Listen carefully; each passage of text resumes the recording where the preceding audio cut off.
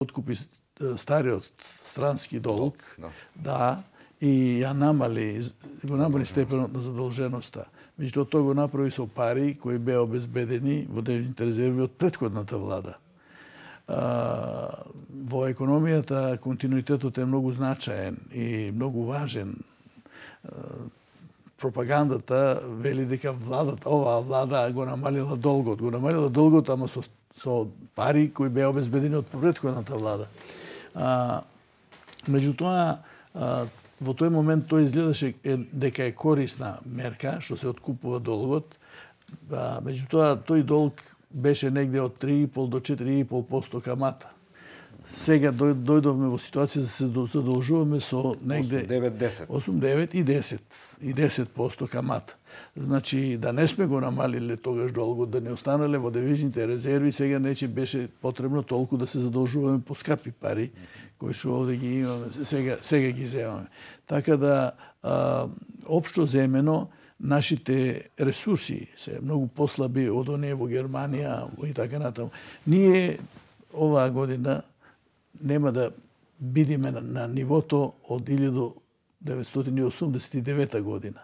Уште тоа не можеме да го достигнеме. За останувањето што почна во 1991 година, од кога почнаа војните во Југославија, па цела, целиот овој период на транзиција, ние уште не можеме да се вратиме на тоа што сме биле 1989-90 година. А, ваки мали задос, намалување што сега не се случуваат, само се, тоа се за нас гол, многу поголема препрека отколку оние намалувања што се во Германија и така натаму така. Така. Добро, светот реагираше брзо потезно. Најмер најразвиените земји. Тие бризгаа во својата економија големи, огромни суми пари. Значи, Америка 800 милиарди ев, долари. Да, два пати по толку. Два пати по толку и така натаму. А овде власта реагираше некако тромо, некако се пазеше на тоа да се најде некој баланс меѓу монетарната, меѓу фискалната политика, рестриктивно остана монетарната политика, така што и тоа не се реагираше некако со брз рефлекс. Ние немаме развиен финансиски систем. Ние немаме изложеност на нашите банки, нашите банки доверители се на нашите банки, нашите граѓани и нашите фирми. Со што банките се фалат, меѓутоа да, да. Така. А, а, не се не не се изложени на ризиците на меѓународниот пазар. Мислам ти ние 3 или до 5% банките наши се, се изложени на, на, на странските да, сака да собственоста во, да, во нашите банки да, е многу мала, ма, странскиот капитал. Да. Во портфолиото тоа. Портфолиото, да. Е, е сега, а, тоа само значи дека нас и не можеле да не погодат тие тенденции кои се јавија во Америка, во Јапонија, се јавија во Западна Европа цела и така натаму. меѓутоа нас не погоди реалниот сектор кај нас се многу намали се намали индустријското производство, ама се намали премногу извозот. А извозот е основицата од која ние обезбедуваме и увоз, плачеме увоз и одржуваме еден ниво на индустријско производство, на обштествен производ, на вработеност на капацитетите и така натаму. Така да ние сме во втората, вториот бран на удар од кризата, реалниот сектор. Мислите што ме вториот бран на кризата? И нас потешко не погодува за тоа што ги немаме оние ресурси во сферата на финансиите кои тие ги имат. Тие имаа можност, Америка имаше можност, па и Германија, па и Франција да одвои големи финансиски средства за интервенција во економијата, нито го немаме. Така. Таква можност немаме. Да, но сепак мислам дека и владата во мислам и монетарната и фискалната власт не знаеше како да се снајде во тој момент како што реков, другите земји поинаку реагира. Еве, познатиот словенечки економист Јоже Менцингер порачува владите да бидат докрај прагматични и мобилни, вели, да ја поддржат секоја компанија. Видите, во ова година што помина, владата имаше потполно друга концепција. Неа не ја интересираа компаниите. Владата не сакаше да го види очигледното. Беше очигледно веќе во дебатата за буџетот, да јас многу пред тоа пишував веќе во и настапував јавно, укажував, дека не е возможно 5,5% да имаме ние пораст на буџетот. Колку што беше проекцијата. Колку што беше проекцијата. Од владата не сакаа да слушнат аргументи кои им ги кажувавме. И они димензионираа потрошувачка, буџетска, поголема од просекот, да речеме, од месечно 5,5% пораст, заради изборите кои беа тогаш. И така да владата премногу се грижеше за својот рейтинг, за тоа како ќе ги добие локалните и председателските избори, а премалку обрнуваше внимание на компаниите за кои Менцингер, познат економистите тој е, словенец, Јоже Менцигер, кој укажу, укажува што беше задача на владата. Нашата влада 6 месеци ништо не работеше на тој сектор. Дури со интервенциите во буџетот со првиот ребаланс, тоа беше негде во јуни месец кој се донесе, дојдоа првите интервенции посериозни така до некаде. Се намали пред се стапката на порастот на буџетот се се ориентира на 2% само пораст и така натаму.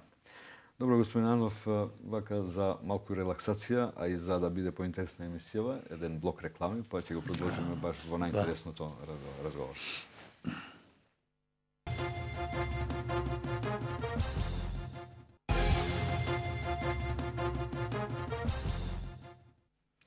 Еве, почитувани гледачи, за тие што подоцна се вклучивте во нашава емисија, разговараме со господинот Стојан Андов и стигнавме до прашањето за државната поддршка на фирмите во оваа економска криза. Господин Андов, кај нас се случи обратното. Значи, наместо да се поддржат компаниите, парите се испумпуваа во државни обврзници. Како ја коментирате оваа ситуација? Па, точно е тоа што го велите. Министерство за финансии фактички емитуваше државни обврзници и повлекуваше пари од банките, кои инаку сигурно ќе одеа во кредитирање на стопанството. Настрано од тоа, за да биде конкурентно во однос на Народната банка, Министерство за финансии ги зголеми каматите на државните обврзници, за државните е, записници. Си конкурира Фискалната и монетарната Записи. политика, Мол? записите, да. Си конкурира меѓу себе. Да. да, си конкурира меѓу себе и ги качи каматите, се разбира. Нормално, расположивата маса на кредити е таа, не може да, да. туку така да експандира. Па се случуваше и државни предпријатија, државни фирми, државни институции да вложуваат во државните записи. И тоа се случуваше, да. Комисијата за така. електронски комуникации, така. Така, да, да, да. Така? така. И така што долгот достигна до 4 милиарди евра, се вкупниот долг, ние го, го коментиравме тоа и на почетокот на емисијата во прилогот. Не е ли тоа алармантно? Значи на секого, извинете, на секој жител во држава по глава на жител му паѓа по 2000 евра од прилика да даде во наредниот период од джеп да го платиме долгот сите. Зголемен е степенот на задолженост, тоа е точно. Зголемен и стапката на дефицитот во сметката за плаќање према странство Тоа зборува за ризици со кои ќе се соочуваме. Мислам оти тој процес ќе продолжи и во оваа година, сега што ја почнавме. Ќе носи ризик и ние тука немаме многу голем простор.